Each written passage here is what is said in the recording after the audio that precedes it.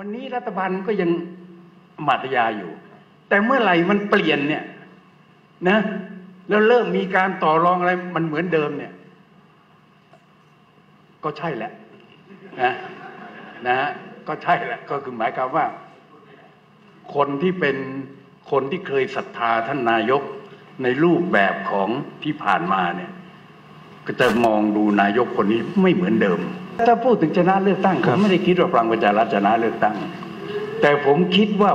ฝ่ายสนับสนุนท่านประยุท่านประยุทธ์เนี่ยนะมันมีอยู่แล้ว 250 อย่าลืมพักนี้เป็นอันขาดเลยนะครับ เพราะนั้นเขาต้องการอีก 176 เสียงจบนะคราวนี้พลังประชารัฐจะถึง 176 เสียงไหม คงไม่ถึง แต่มันยังมีอื่นๆอีกล่ะไอ้ที่เดินคารวะแผ่นดินอยู่น่ะ ใช่ไหมฮะที่ที่ประกาศล่วงหน้าว่าสนับสนุนท่านประยุทธ์เนี่ยมันต้องเกิน 176 อยู่แล้ว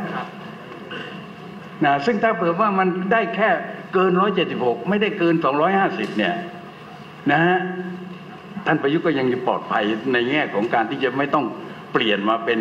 การบริหารในรูปแบบที่อาศัยนักการเมือง การตั้งรัฐบาลหรือการตั้งนายกหลังจากการที่ประชาชนไปเลือกตั้งแล้วสมมติว่าพรรคอันดับหนึ่งเนี่ยไม่ใช่พรรคพลังประชารัฐครับนะครับแล้วพลเอกประยุทธ์ได้เป็นนายกโดยวุฒิสมาชิก ซึ่งสังคมก็เห็นว่าบรรยากาศในการสรรหาคราวนี้มันเงียบเหงามากจน จนไม่รู้ว่าจะเรียกว่าเป็นตัวแทนของของของเราได้หรือเปล่าเนี่ยวันที่นายกเข้าสภาด้วยคะแนนเสียงของพรรคซึ่งไม่ใช่ที่หนึ่งและมี 250 สว ซึ่งประชาชน ก็รู้สึกว่าไม่ใช่เป็นตัวแทนของเราเนี่ยความรู้สึกทางสังสังคม ความรู้สึกทางการเมืองมันจะเป็นยังไงไม่ใช่ต้นทุนมันจะติดลบไหมนี่นี่นี่เป็นสิ่งที่อาจารย์วาดภาพครับ แต่สิ่งที่ภาพไม่เหมือนอาจารย์เนี่ยคนจะโอเคหมด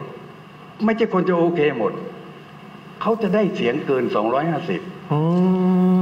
คือเขาจะรวมพักได้สองเกิน 250 มันการรวมพรรคจะมีสองครั้งครับ ครั้งแรกสุดเนี่ยนะ จะเป็นการรวมกันเพื่อหานายก ตรงนั้นเขาต้องการ 176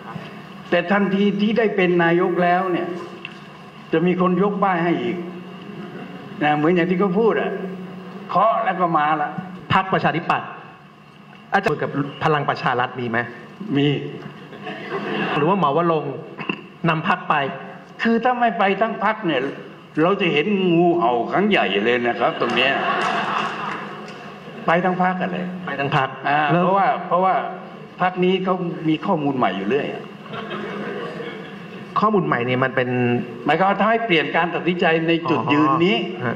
คุณนะอภิสิทธิ์ก็จะเป็นเหมือนเดิม อะไรนะคุณอภิสิทธิ์ก็จะเป็นเหมือนเหมือน ก็ก็อาจจะเป็นอดีตหัวหน้าพัก